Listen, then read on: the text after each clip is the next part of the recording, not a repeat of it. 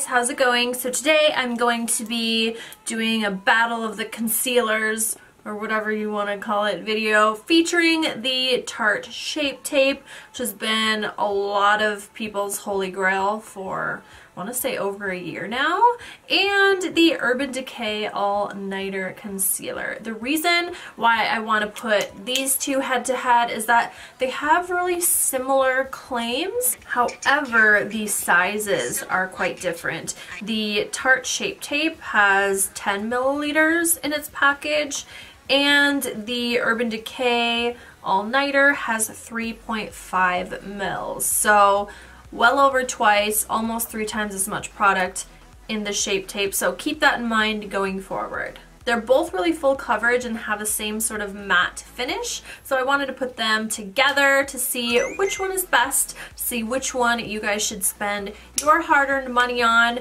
I know this one last year was featured in my Best of Beauty. I really, really liked it when it first came out. And this one just launched on the 4th of December. So some of you may not have gotten your hands on it yet, and that's okay. That's why I wanted to get this video up for you guys just in case you had your eye on it. Um, prices are about the same. I will have them listed as I show the concealers here.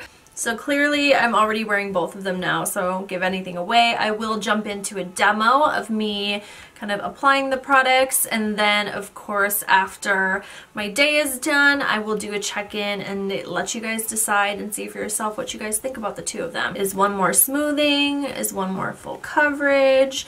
Does one crease a lot more? I want to know just as much as you guys do. I've never worn them on my face at the same time, so I'm not entirely sure what's going to happen. So let's jump in to the demo. Alright you guys, so my skin is primed and I have a layer of foundation on. Kind of avoided my eye area a little bit. So I'm going to start doing concealers, one on each side. For the Tarte Shape Tape, my shade is Light Sand.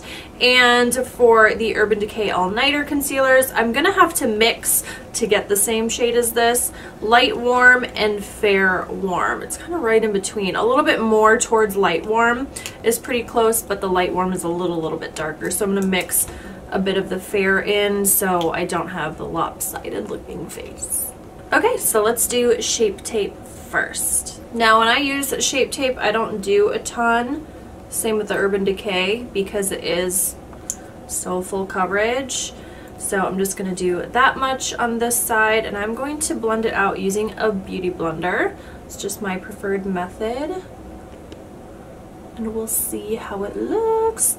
This shade is going to be pretty, pretty bright right now because I have some sunless tan on that's fresh. So that's a, a bit annoying, but Hopefully once my makeup is fully done, I won't look like an old golden retriever. You know how they have like the white face? Anyway. Alright, so that side is done. Now let's do the Urban Decay. So I'm going to start out with light warm and I'm going to do more of this than the uh, fair. I'm just going to do a couple little dots of the fair to kind of lighten it up a little bit so we match. Blend it in.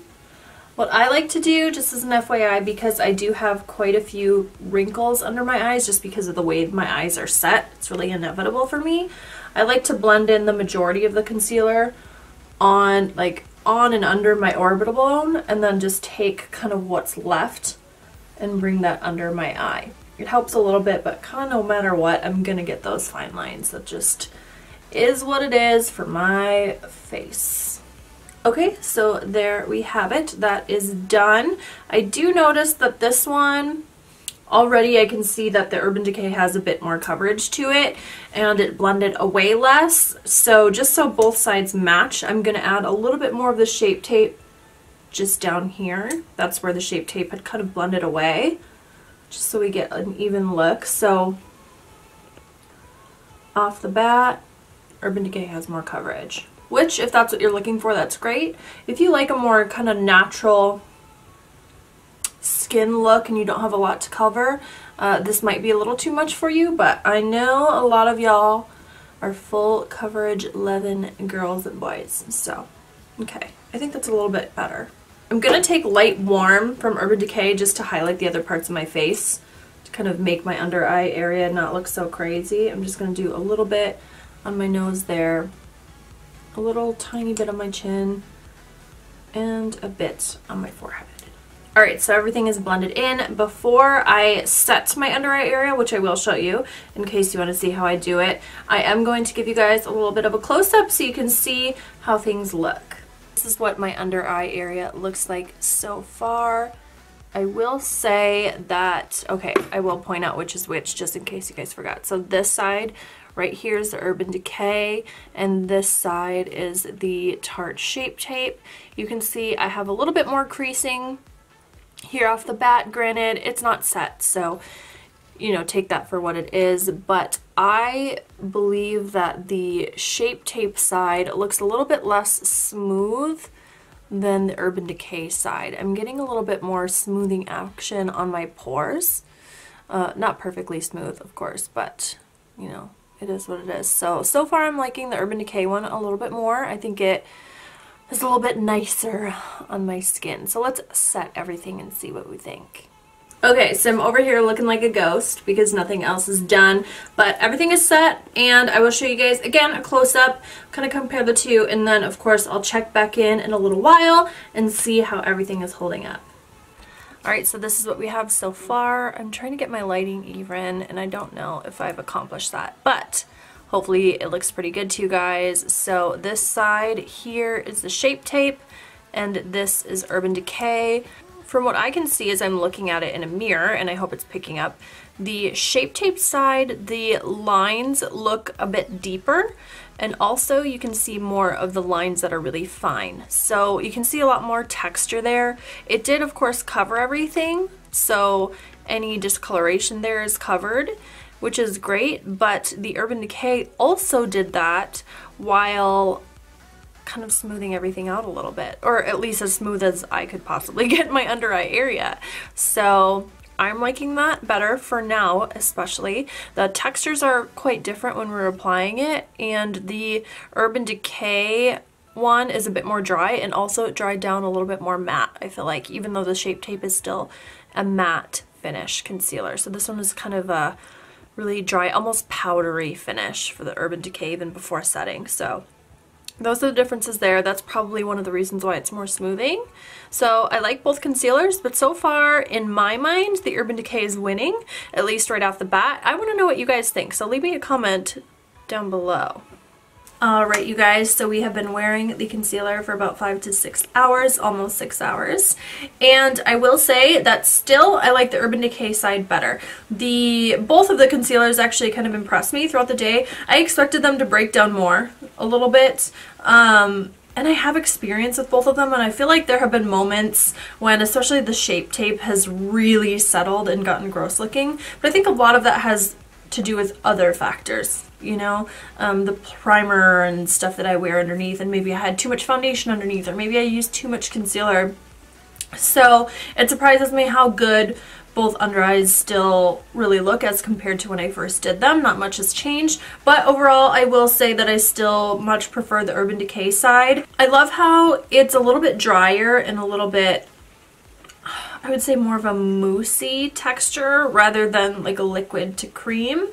It blends out really, really nice, almost leaves a little bit of a powdery finish, which is really nice. It kind of hides some of the, is it texture? I would say, you know, I have this line coming out from my inner tear duct that comes down here, and when I do wear matte products under the eyes, it really kind of helps to blur that out when I'm filming. Just something I nitpick about myself, which is weird, but whatever. So the finish is nice powdery matte. This is matte as well, but this is just a little bit smoother looking. Uh, and it doesn't settle as much into my really fine lines. It kind of helps blur them a tiny bit, which is really, really nice. Especially considering how much coverage there is. A lot of times you sacrifice, uh, you know, texture looking a little bit gross when you have such a full coverage product, which, let's be honest, if I was going to use a really nice kind of light liquidy concealer that had didn't have a ton of coverage, my under eye area would look more hydrated, you wouldn't see all of the fine lines, but it doesn't photograph nicely for me and when I'm filming, it doesn't look as nice, it doesn't look as kind of airbrushed, I guess. So that's just kind of a trade-off. So I say if you had to choose between the two, I would go with Urban Decay. I'm a fan. I'll give you guys another close-up. Okay, so again, this side is the Urban Decay concealer, and this side is the Shape Tape. You can see, hopefully, a little bit more of the fine lines creeping out down here, and the bigger creases under my eyes are just a little bit more pronounced on this side. So there you have it. I hope you guys enjoyed this video and please give it a thumbs up if you guys found it helpful or liked it. Leave me a comment or any questions you may have down below in the description box and be sure to subscribe to my channel if you guys aren't a subscriber already. I would love to have you guys and I will have more videos for you soon. Thanks so much for hanging out and I will see you next time. Bye guys.